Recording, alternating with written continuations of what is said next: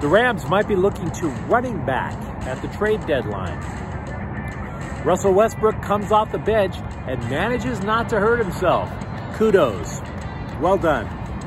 And who did the Dodgers fancy at shortstop if Trea Turner leaves? Well, the answer, here's a hint. If you can't cheat them, join them. Good morning. I'm James, and this is your daily dose of sports and start for the greatest sports city in the world, Los Angeles. This is Faithful Angelenos. It's October 29th, 2022. I am continuing my weekend tour of random parking lots. Yes, the hotel I'm in is that stank. So we're going to talk LA sports out here while I have the chance. If you like the content that we put out, click and clack the like button. Click and clack the subscribe button. There's a notifications bell. Hit that. It'll let you know when we drop new content. Sharing is caring. Let people know we exist. And yes, comments. Please do. It's lonesome when you're sitting in a parking lot. So, before we go through the news and notes from around LA, take a quick look at the scoreboard. Last night, the Lakers fell to 0 and 5. Ouch. They dropped a 111 to 102 decision at Minnesota. You might recall uh, before the year how Anthony Davis said this big goal of his was to play in all 82 games. Yes, please take that written prediction wad it up, wipe your behinds with it. He sat out last night. He's not doing all 82. He had lower back issues. LeBron James, by the way, scored 28 points. Meanwhile, today, USC is back in action. They're going to take on Arizona at 4 o'clock. There is a preview of that game on our USC playlist. In addition to that, Stanford is at UCLA at 7.30 p.m. There's a preview of that match on the UCLA playlist. And of course, Toronto is at the LA Kings at 4 p.m. Wow.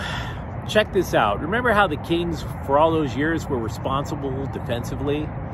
They have allowed an NHL most 39 goals so far this year. Not good. So, we've been kicking around ideas I've been kicking around ideas about what the Rams are going to do for the trade deadline.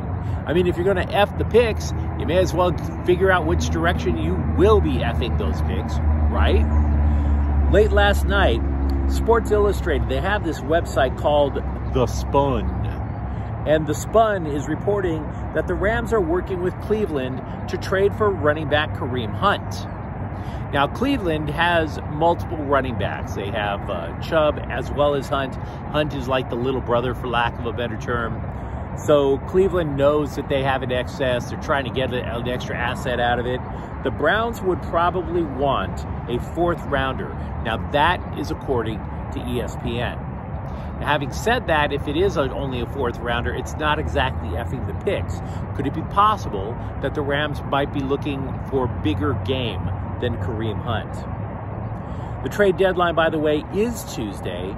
And just to refresh everybody's memory and for you to also add your thoughts in the comments thread, I'm suggesting they go pass rush. Now, I will grant you that some of the bigger names are already off the board. Robert Quinn is a no. He is a former Ram. He was traded to Philly. Carolina also has been turning down many offers for linebacker Brian Burns.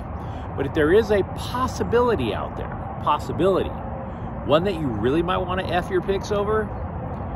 Linebacker Bradley Chubb of Denver. He has five and a half sacks. He has one. He is on the final year of his rookie contract, so you could theoretically squeeze him under the cap. And the Broncos are two and five.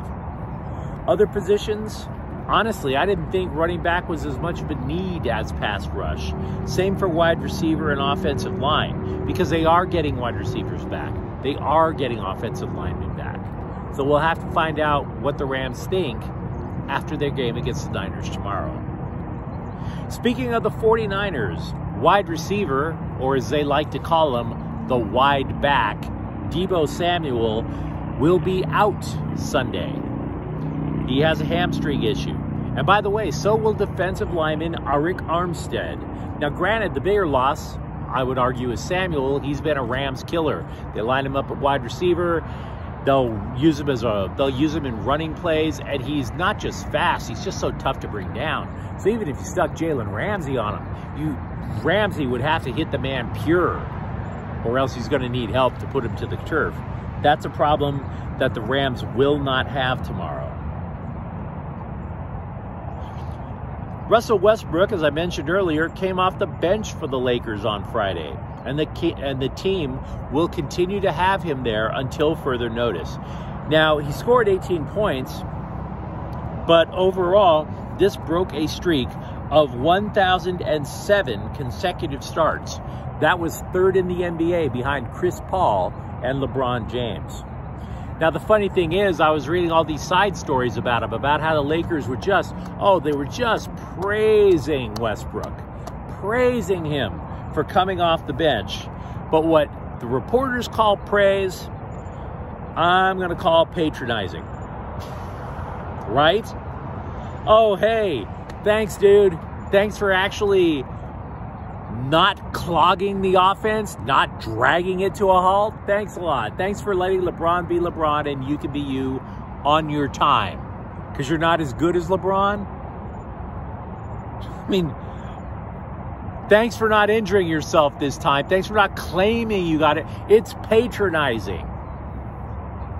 Praise. We've really dumbed down the definition of praise, don't you think? Why not just give Russ a participation award like we do for every kid who bothers to put on a baseball cap at a Little League game now? According to Jon Heyman of the New York Post, if Trea Turner leaves the Dodgers, and yes, there is a distinct possibility that that happens. There have been stories about how Trea Turner would prefer to play on the East Coast, but if that does happen, the Dodgers would pursue Carlos Correa. Yes, Carlos Correa of the 2017 fraudulent champion Houston Astros. That Carlos Correa. Apparently, the front office just loves his game. I think he'd be a fine addition to the offense.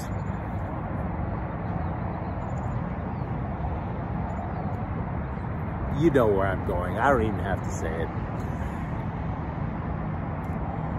Quinton Byfield of the Kings will miss his second game of the season tonight with an undisclosed illness. And I bring that up because there's been talk about, you know, is his progress coming just a little too slow for what everybody else wants? Maybe so. But Gabe Vilardi was the 11th overall pick in 2017. That was five years ago. We were wondering when that guy was going to blossom, right? Now, Gabe Vilardi, welcome to the big time. You, sir, at least in practice, have been promoted to the number one line with Adrian Kempe and Anze Kopitar. And yes, if you're a Kings fan and you're saying, wait a minute, does that mean Kevin Fiala got demoted from the top line? The answer is yeah. So maybe there is something to be said for Byfield not necessarily blowing up as quickly as we'd like him to. Now, Vilardi, he, by the way, he has six goals and four assists in nine games. Offense isn't necessarily the problem for the Kings. We mentioned that a few minutes ago. Ethan O'Connor who plays both cornerback and wide receiver for Los Alamos uh, High School, has committed to play for UCLA football. He made the commitment on Friday. Now, they recruited him to play cornerback. He's six foot one, 170 pounds. Uh, last year, he had two interceptions, five pass deflections. He is a five star recruit. He is the eighth such recruit in UCLA's uh, high school recruiting class in 2023. So they're going to be happy with him. ESPN has asked if LAFC has cured its growing pains from signing Gareth Bale. If by that you mean not playing Gareth Bale, then yes, I guess you kind of say that the uh, patient has become much healthier, that he has overcome growing pains by not playing Gareth Bale. Yes, growing pains are over for LAFC. Bring on puberty. Growing pains just because you added Gareth The man is on the bench. Paul George of the Clippers has donated $3 billion in free therapy for mental health awareness. He said he became aware of how legit mental health issues can be because he was battling anxiety and depression in the Orlando COVID bubble. He described being in the Orlando COVID bubble as, quote, his pit, unquote. And as tempting as it is to crack a lame Disney, my pit is the small world ride joke, I'm going to pass because I understand. Mental health is definitely a thing these days. Now, if you enjoyed the content, don't forget to like and subscribe to Faithful Angelenos. We do talk LA sports here.